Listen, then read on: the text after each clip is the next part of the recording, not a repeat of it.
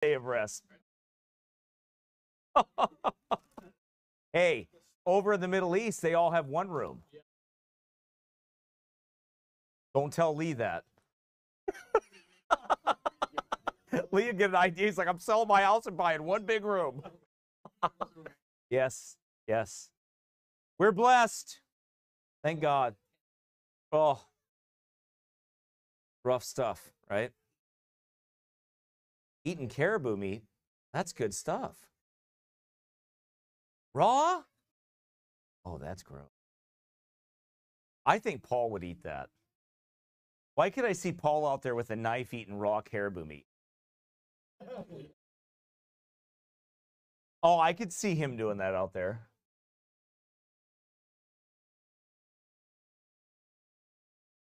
Paul, have you ever bit into any raw meat like that? Have you ever done that in your life? That you can remember? Did you ever like bite into a deer heart or anything like that? No, nothing like that. Nothing like that. John, did you? Confession time. Did you, Garrick? Did you eat that badger that was outside of your house? What about the gopher? I did see Paul eat bugs. You know, if we were Roman Catholic, we could really twist this around on Paul. We saw him and he eats stuff that eats raw stuff and he eats bugs. Something wrong with him. Unclean animals. Then he's eating bugs. All right, Romans chapter 12. We're going to finish up what we started here this morning. And uh, next week, we'll get back to. Next week, I want to, Lord willing, uh, bring you. I want to kind of catch us up from in Baptist history next week from what happened on the side of Roman Catholicism from the time of the third century till the time of the 10th, ninth century or 10th century.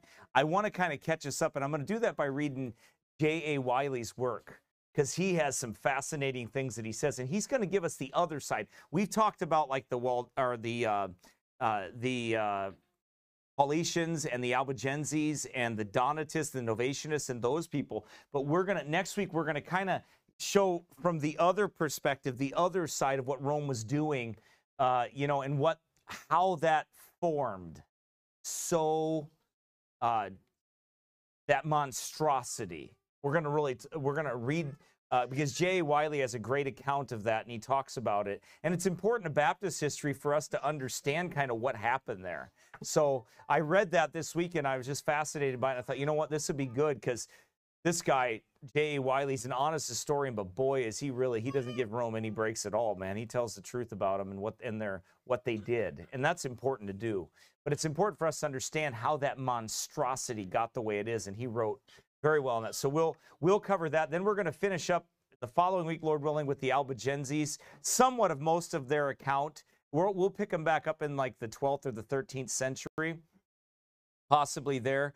And uh, but then we're gonna kind of backtrack a little bit to the the Petrobrusians and Peter of De Bruys and a few of those other guys, and we're going to read some of their testimonies and accounts. So there's a lot of good things coming up with that that prove, by the way, that none of those groups were Manichaeans as well, which was a fierce charge that was made against them and a stain that was tried to put upon them by by the Roman Catholicism. But anyway, we'll talk about that last week. I had planned on finishing uh, this this morning, but I didn't. So Romans chapter 12, verse number one. We're, we're, really actually turn to Ephesians, please. Ephesians, I'm sorry, Ephesians chapter 5, because I'm going to start here and I want to talk about have a, a holy fight for your family.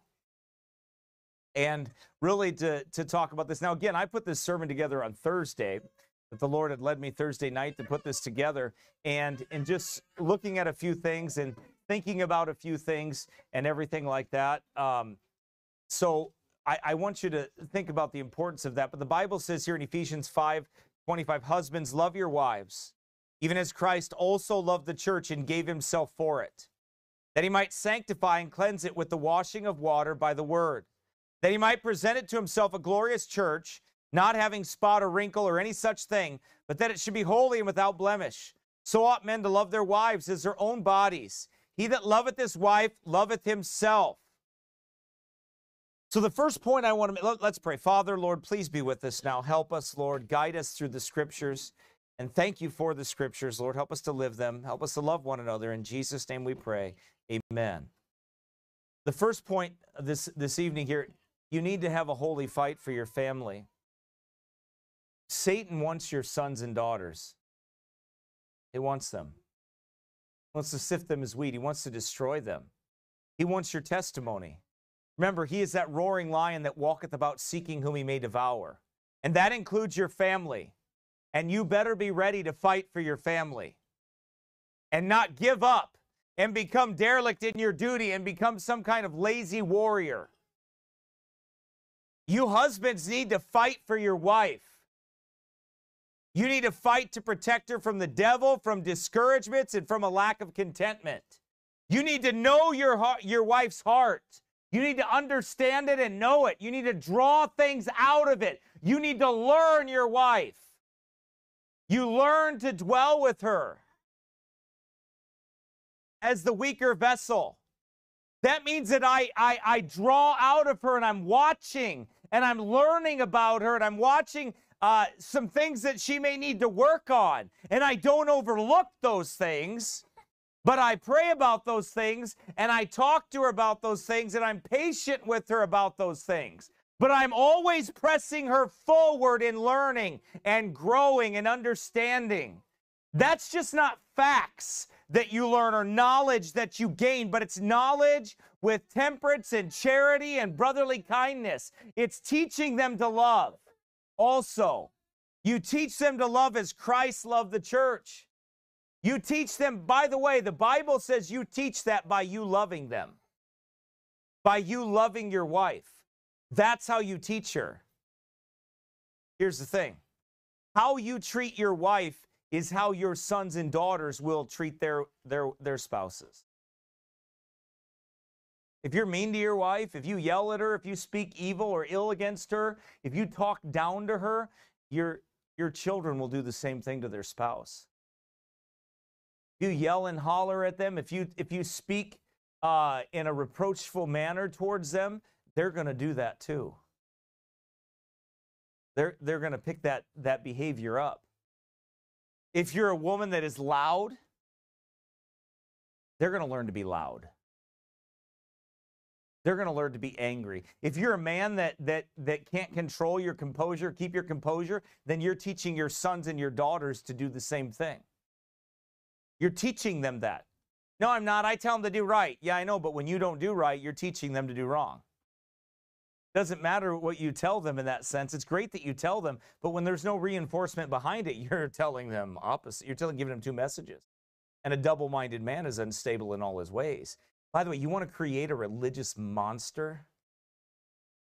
You live hypocritical in front of your children. You'll create a religious monster. I preached it years ago how to raise a reprobate. Go back and listen to it. I'll preach it again but how to, how to raise a reprobate. You want to li- live that hypocrisy in the home. Live two different ways in the home. Don't be the mother that you're supposed to be or the father that you're supposed to be. And you'll you'll raise you'll raise little monsters. And they'll grow up to be big monsters. And they'll resent God. Why? Because God wasn't enough to change your heart. Why would he be enough to change theirs? That's just the facts. That's the way it is. And you have to understand that. And he said, Well, I learned wrong. I really don't care how you learn, to be honest with you. I care what you follow now. I'm not going to hold your past against you, and you're certainly not going to use yours as an excuse to do evil. How about that? How about I don't use your past against you, and you don't use your past to live like a devil and make excuses for why you can't grow? Think about that for a second. Well, I can't. I, have been through that. Look, I, I'm not. I'm not. I'm not downing you for what happened to you in your past and the sins you committed. I sure ain't gonna let you use it either to get away with doing wrong. I'm not gonna let you use your past, right? To get you husbands. I won't let you say, "Well, I, I this happened to me. that." I, I'm sorry those things happened to you, and I'm sorry you did some things that you regret. But you know what? You're a new man in Christ Jesus, which means you follow the instructions from this book that you're given and you stop making excuses for your life. No one, look, there's people that make things happen and there are people that make excuses. And by the way, I mean that by all the grace of God. I don't mean we make it happen on our own. You know what I believe about that. You know it's the Holy Ghost of God in us. I know that. But God says you have to act. You have to add to. You have to work on. You have to put on. You have to take off. You have to do all those. Those are things that you're commanded to do as a child of God. That's right. Walk, stand, right. Those are commands of God. It's not, there's nothing passive about our Christian life, our spiritual life. In anger, in malice, we're to be passive, right? We're not to be aggressive. We're not to be angry. But it's spiritually, we're to fight. That's right. The Bible warns us about that. So ought men to love their wives as their own bodies. He that loveth his wife loveth himself. A man that loves his wife will teach his wife, will give her instructions, will help her, will be affectionate towards her, and teach her. That's what we do. Look what it says here that he might sanctify and cleanse it with the washing of water by the word. By the way, if you're not going to take the scriptures and correct your wife, you might as well not do it at all. Because your vain philosophies aren't going to do any good. They'll do about as good as, as, as the Book of the Month Club from Oprah. How's that worked out? Right? Not too good. Your philosophies and your ideas, I don't really care about them. Neither does God. He says, count it all but dung. What do we care about? Scripture, principles, right here in this book. This is what we follow. This is how we teach. We teach with the Bible. You don't teach with your anger. You don't teach with your bitterness or your wrath. You teach with the Word of God. That's what it says right there. Husbands, love your wives, even as Christ also loved the church and gave himself for it, that he might sanctify and cleanse it with the washing of water by the Word that he might present it to himself a glorious church, not having spot or wrinkle or any such thing, but that it should be holy and without blemish. That your wife should be holy and without blemish. That's the goal. Now, if you're too busy with life that you don't have time to do that, well, that's unfortunate that you're derelict in your duty. Maybe you're too busy. Amen. Also, you wives better learn to fight for your husbands. This world is full of temptations, and you have a duty to love your husband, to take care of him, to do all the conjugal duties of a wife, to put out the fires of lust by keeping the fires burning at home, no matter how you feel. Obedience is love. Love is obedience. We show our love through our obedience. If a woman says she loves her husband will not obey him, she is a liar. And the main person she is lying to on this earth is herself. Fooling herself into believing that she loves her husband while ignoring him and rebelling against him. That's not love. It's like saying, Jesus said, if you love me, keep my commandments. But he said, right? Why? Because he showed this is true love. This is you show you how do I show my love to the Lord? I obey him right? I obey him. Right? You do his will. That's right. How does a wife do it? Same way. She obeys her husband. She does his will.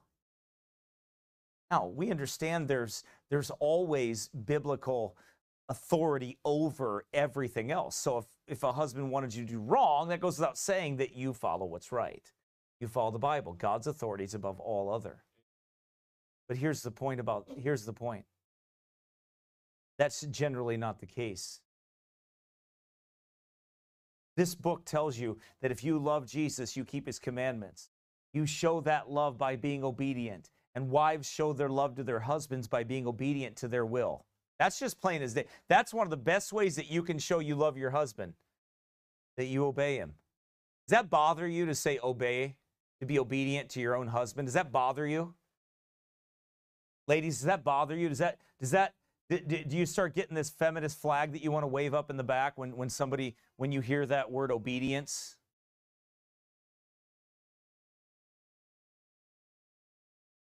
Because that's that's that's that obedience right there. That that that is the opposite of feminism. It's the opposite of it. And and if you have a hard time being obedient, you have a hard time loving. Period. Being obedient is to love, and it's of God. It's God's way. Your holy war is to love your husband through all things. You parents, part of your holy warfare is your children. Your work is not done until you are dead. You understand that? Your work is not done as a parent until you're dead. No, when they're raised, no, it's not done. Your work is not done until you're dead. And then you go home to be with the Lord. You're, who do you think is supposed to help advise them and guide them even when they're out of your home and they're grown up and they're they're raising children of their own? You are. You better be the example that you're supposed to be for them. So they have somebody to come back to talk to. Your work is not done until you're dead. While they while they are young, we teach them all the lessons we can. We instill in their character all that we can and we fight for them. We wrestle in prayer for them. Part of your armor is prayer, isn't it? Part of the weapon you have. Praying always with all prayer and supplication in the Spirit, and watching thereunto with all perseverance and supplication of all saints. You're to pray for your children. You're to pray for the souls of your children. And by the way, if you do, their rebellion stands no chance because God will eventually deal with them. He'll eventually break through their heart. You're praying for them. You continue to pray for them. God will break their hearts. The Bible says, praying with all prayer and supplication in the Spirit, and watching thereunto with all perseverance and supplication for all saints. Praying and watching. Praying and watching. But do, do you watch your children? Do you watch their, their life? Do you watch what they do? And do you look for ways to better them and to help them? Because there ought to be times where you see, you know, there are times that my wife and I that we that we'll sit down when the children are in bed and we'll sit and and there's something that has come up and we'll sit down and we'll talk about something and I'll look at her and I'll say, "Well, we need to work on this." Or she'll say, "This is this is an area of concern." and we we pray about that and we look at that and we and we immediately look to see how we can help them to learn to get that out of their character to repent of those things that that is not right behavior or a direction that they might be going or if you see a hardness in one of your children if you see a lack of compassion in one of your children the last thing you're to do is alienate that child the, the thing that you need to do is love that child more. When something is hurt, it needs more attention, not less. You coward? Cowards run away. Cowards run away from their responsibilities when they see a problem with their child or a problem with their wife. Don't be a bunch of cowards. You stand up and fight for them. And I mean it. That's why I'm yelling at you. I mean it. You stand up and you fight for them. You don't let the devil have them. You don't let him get his clutches on them and say, the hell with them. I'm going to let them go. They won't listen to me anyway. You fight. You don't just let your children go to hell. You don't just let you. You think I'm going to let any one of you go that easy as your pastor? You don't think I'm going to come looking for you? I am. You call the cops on me, say, get this crazy preacher out of here. I don't care. Won't be the first time I had the cops called on me.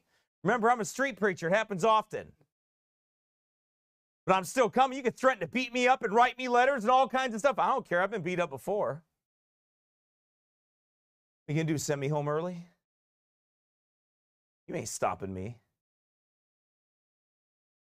Amen. You go looking for him. You don't, you don't run away when you see a problem with your family. You want to watch your kids go to hell? Go and be a coward and turn around and not face anything. and not deal with it. Walk away from it. Say, I can't, I can't do anything.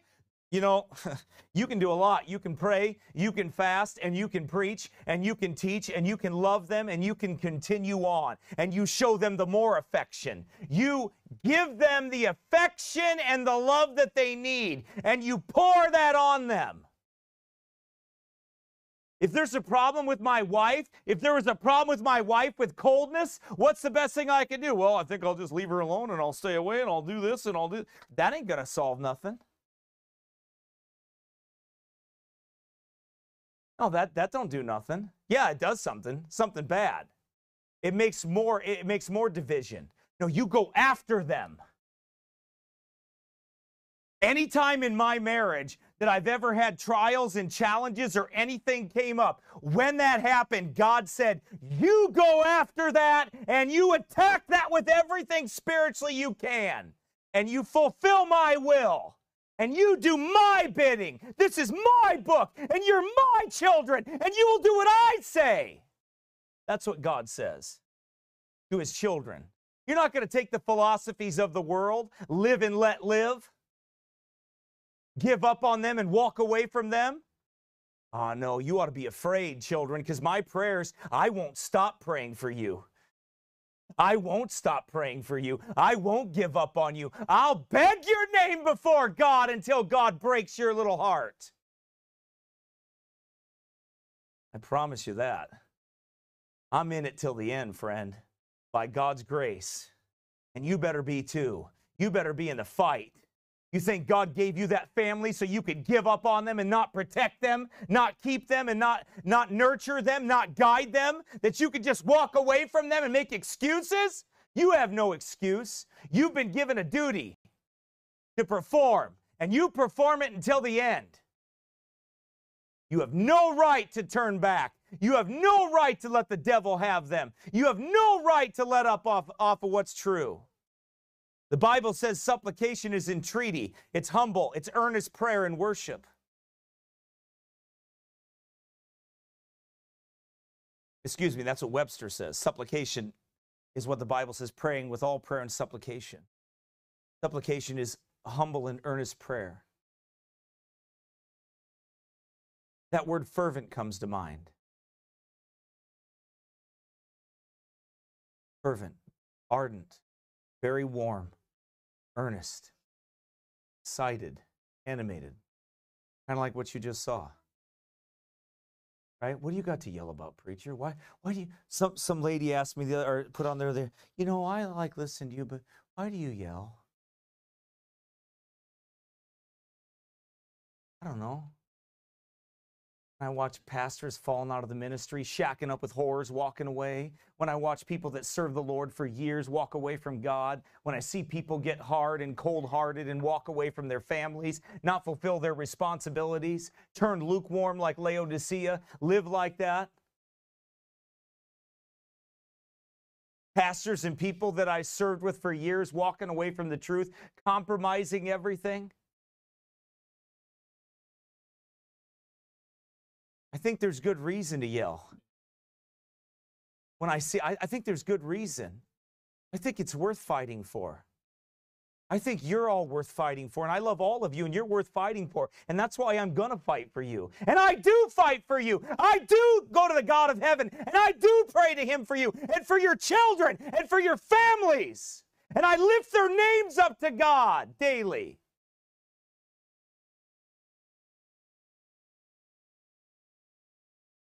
Ephesians 6 4, and you fathers, provoke not your children to wrath, but bring them up in the nurture and admonition of the Lord. Fathers, says again, provoke not your children to anger, lest they be discouraged. If you're not careful, you'll discourage your children. Some of them are discouraged. That's why they've blocked out all spiritual things.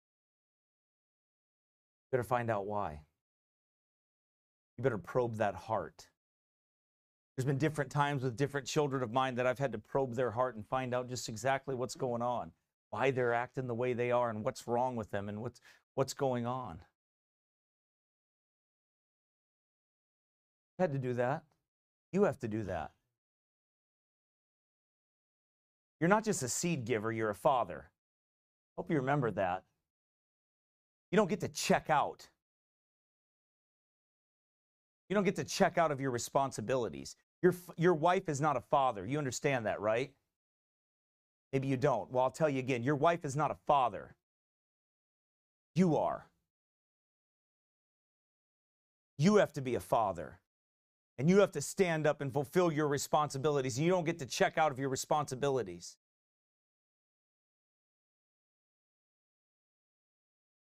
You're going to answer to God for how you fathered. You're going to stand before the judgment seat of Christ and give an answer. You mothers are going to stand before the judgment seat of Christ and give an answer.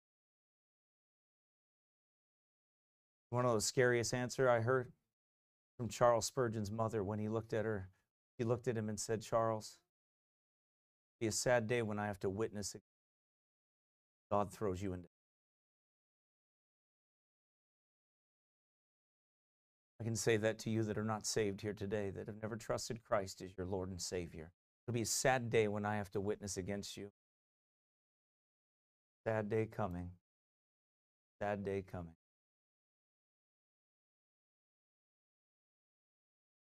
To witness against you because you never turned to Christ, you never believed the gospel. Did not turn and believe the gospel, you rejected it.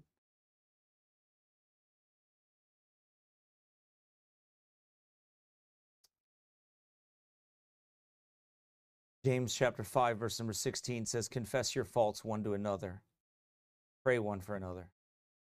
You may be healed. The effectual, fervent prayer of a righteous man availeth much. You believe that?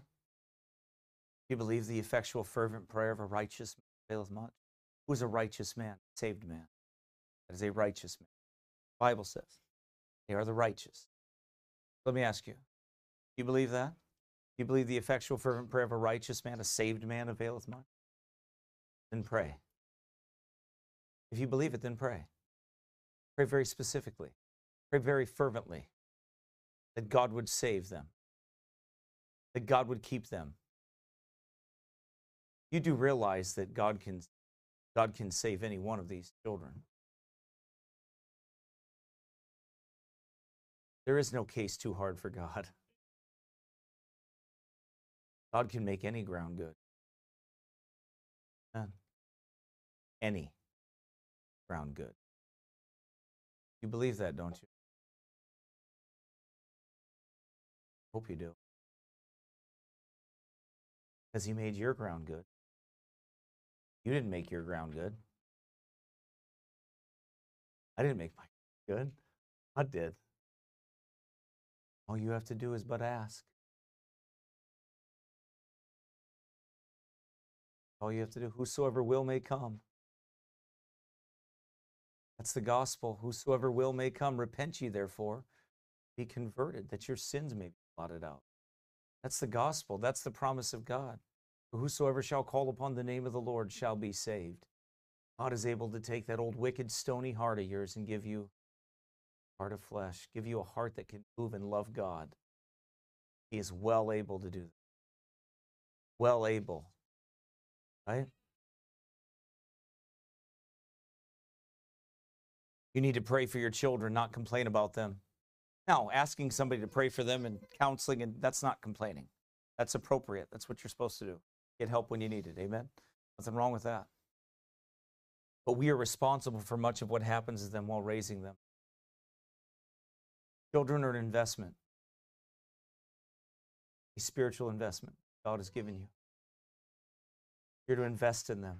You're to invest everything. By the way, you hear, you ladies, you moms, you, uh, you, you mothers, you hear, you hear somebody, uh, uh, or you see the Apostle Paul when he said that he would gladly be spent for their souls. Why do you think you're immune to that as a mother? You're to be spent for the souls of your children. You are to be wore out, tired, you are to be that way in that sense. You are to be that way. That's your that's that's your ministry. Your husband first, your children second. That's your ministry and you are to be spent for them. That's to be your life and your legacy. They are your legacy. What did God tell Sarah? Kings shall come from her. Princes and kings shall come from her. They're no different. You have a duty. By the way, this, this modern day environment that we live in is very conducive for wives to be lazy. It, it, it can't, I, I, I'm serious, it can be that way. They can be very lazy and be very distracted. And, and, they can easily be distracted, and mothers can be easily distracted from what their main work is. Their main duty is to love their husband and to love their children. By the way, that is the order love their husband, love their children. That's the order. God's order. Love their husband, love their children. Mothers and fathers being spent for their children and raising them for Christ. I ask you, are they not worth fighting for? You really want to give up? You really wish to give up and and and and walk away or make your life easy and say, "Well, I, I don't like confrontations." Well, you better get over it. Some of you say, I, I, "My nature, I don't really like confrontations." I don't care. Tough. Tough. You don't like confrontations. This Christian life is one big confrontation. Satan hates you. You have an enemy, and he wants to destroy your family. This world hates your family, hates this book, hates how your children are being raised, and they want you to follow their manual of how to raise children, which means that they don't know if they're boys or girls. And we can cut off their privy members if they don't like what they have. And we'll just give them hormones and take something else. I hope God's people are finally finished with listening to the world tell them how to do things. I really hope they are. I really hope. I, is that enough for you to just be done with? With I mean, it should have been a long time ago. But what I'm saying is that enough for you to be done? That I don't really want to hear anything. Like people say, you said to that old woman out there, you when you were preaching out there, and you told her you didn't want to hear what she had to say, and you just kept because she was supporting the transgenders and all this other stuff, and taking little kids in there, and my son's a homosexual, and all this other stuff, and she was mad, and you didn't let her talk. Well, I don't want to hear anything she has to say. Hey. No, I, I, I actually feel really good about it. I felt good about it then, and I feel even better about it right now. I really do. You know why? Because her philosophy stinks. Like Satan. Slimy. And she didn't need, I don't need to hear what she had to say. She needs to hear what I had to say. I'm speaking for the king she needs to hear the word of the king, right? She doesn't need to hear. She does. She she doesn't need to. I don't need to hear from her. What is she going to tell me? Humanism, Satanism. She told me how she turned her how well. she said her two sons, my two sons are homosexuals, and yes, I'm going in there. I'm like, you ought to be ashamed of yourself, 80 years old, walking into that place with a bunch of drag queens. What's the matter with you? They don't hear nobody talk straight to them like that. I don't, I don't care about your philosophies. I don't want anything to do with your philosophy. I'm here to preach them down and then I'm here to go home. Because they're sick. They're sick. And that an 80 year old woman would walk around and act like that is absolutely deplorable. It's wicked. It's vile. Disgusting. Proves to you that just because somebody's older doesn't mean they're right.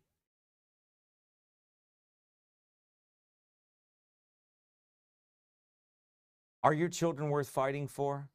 Even through their rebellion and immaturity, their annoyances and their character flaws and all the moodiness of their lives, are they not worthy investment as gifts from the Lord, as blessings from God? Should we not have a holy war for them and go to war for them? It does no good to be merely a hearer of the word. We have to be doers of the word. James 1:22 says, "But be ye doers of the word and not hearers only, deceiving your own selves." If any man be a hearer of the word and not a doer, he is like unto a man beholding his natural face in a glass. For he beholdeth himself and goeth his way, and straightway forgetteth what manner of man he was. But whoso looketh into the perfect law of liberty and continueth therein, he being not a forgetful hearer. Did you know there's hearers that can be forgetful? James warns us don't be a forgetful hearer. You be a doer of the word. You be a hearer of the word, a doer of the word, and don't be a forgetful hearer of the word. Don't forget what you've heard. Put it into practice. How do I not forget it? I put it into practice. That's how I don't forget it. By the way, what's the perfect law of liberty? Right here. Right here, you have it. Right here. This is the perfect law of liberty. Amen. Made me free. the Son of Man shall make you free. You shall be free indeed. Made us free, didn't it? But whoso looketh into the perfect law of liberty and continueth therein, he being not a forgetful hearer, but a doer of the work. How am I not a forgetful hearer? I'm a doer of the work. This man shall be blessed in his deed. There is deception that comes from hearing only and not doing what you've heard. You'll deceive yourself. Jesus warns us as we finish up with this text. Turn back to Matthew chapter 11. Finish up here. Verse number 16. Jesus is talking about this to these people, to the, and he's, he's explaining these things. Then he goes in to say, But whereunto shall I liken this generation? It is like unto children sitting in the markets and calling unto their fellows and saying, We have piped unto you, and ye have not danced. We have mourned unto you, and ye have not lamented. For John came neither eating nor drinking, and they say, He hath the devil. The Son of Man came eating and drinking, and they say, Behold, a man gluttonous and a winebibber, a friend of publicans and sinners. But wisdom is justified of her children. It doesn't matter what you You're never going to get a break from the world. They'll never give you the benefit of the doubt. Nope, you don't and you don't and, and they're never gonna they're never gonna they're always gonna slander you the way it is. Has to happen that way.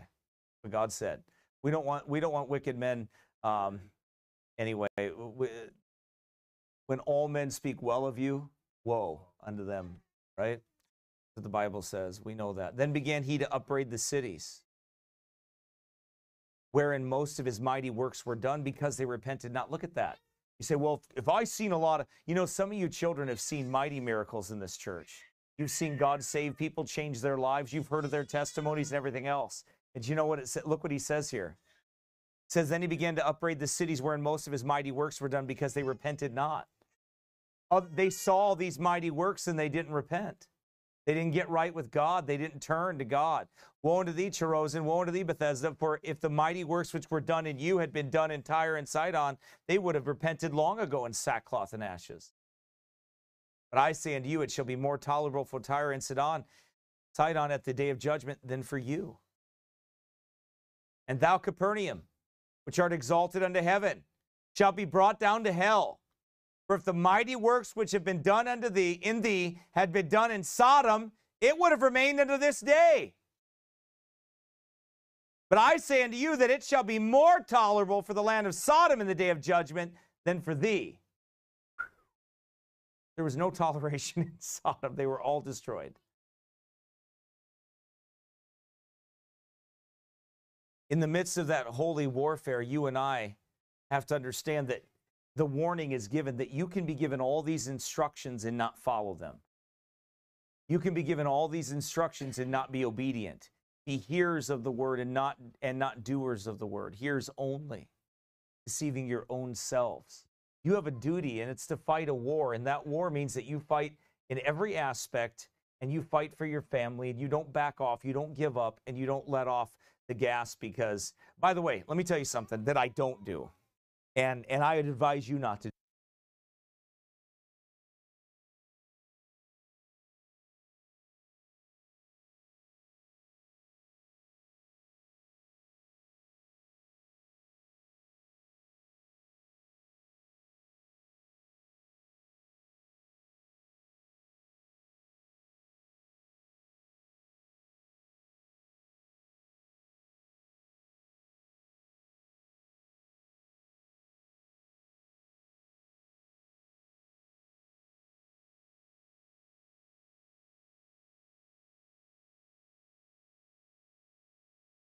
This here.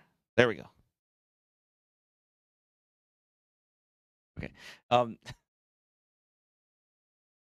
your children need to do your children need to do what you tell them to do. And they need to obey you in all situations. If your children get the impression that you'll take them out of a situation, they will do wrong in every situation to have their way.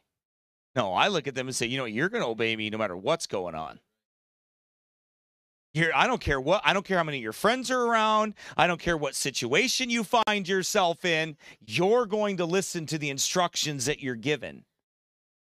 Because I'm your father, and these are the these are the directions, and this is from the Lord that you're to obey your parents. And you teach them through that. You don't teach them, well, if they don't like something, we'll just do what they want to do. Well, that's a good way to mess them up then they grow up thinking that then they grow up thinking that you're that the world has to do everything they want.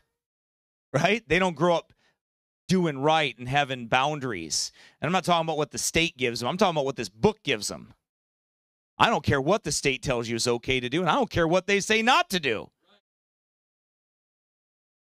I who cares? They say a lot of things. I i care what this book says. These are these are the rules that we live by and we realize we have to live in this system here. But by the way, not everything the federal government says is wrong is wrong in God's eyes. I just I don't know if you I don't know if you know that or not. Or the state government or any of them. There's so many Christians that have tied the Bible with the American flag that they don't know the difference between the two. So they so they don't know, oh wait, I'm supposed to obey them that have the rule over me and everything. Yeah, this book right here and you're to follow it. Yeah, God has earthly authorities. We understand that. But you know what? And earthly boundaries and things that we're supposed to do. And we have to live in a system. We get that. But ultimately, you're going to obey this.